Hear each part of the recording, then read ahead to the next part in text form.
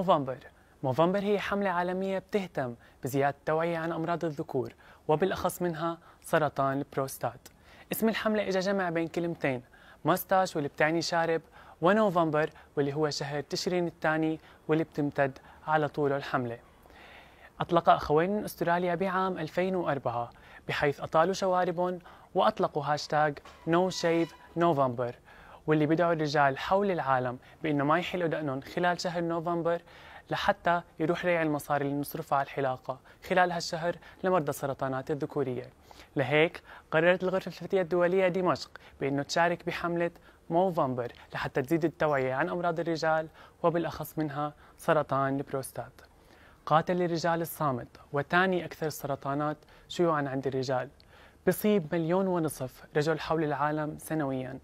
قاتل صامت لأنه تقدمه بطيء كتير وأعراضه ما بتظهر إلا ليكون وصل لمراحل متأخرة جدا.